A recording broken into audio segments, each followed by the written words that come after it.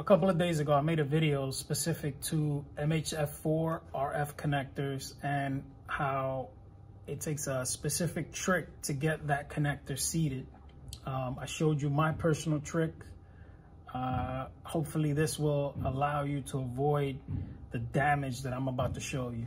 Our first exhibit is the Quectel EM160R-GL. It's got a bad M0 that is your most critical antenna. On this side, we've got a Sierra EM7411 with a bad auxiliary, AKA the diversity. Okay, now the tricky part of this ordeal is um, I personally don't fix RF connectors. I have a good friend of mine that fixes them, but he's all the way in Connecticut. I'm in the state of New York, so I'm gonna get in the car and go get it done.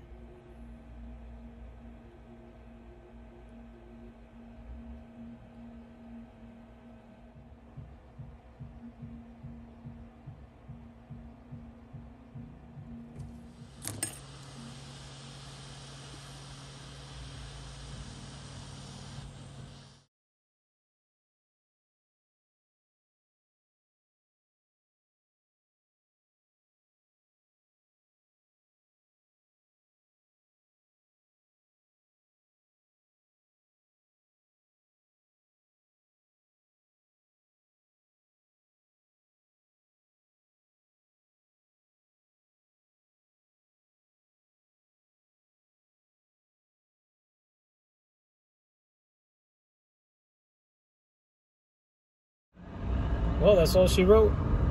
Now to drive back.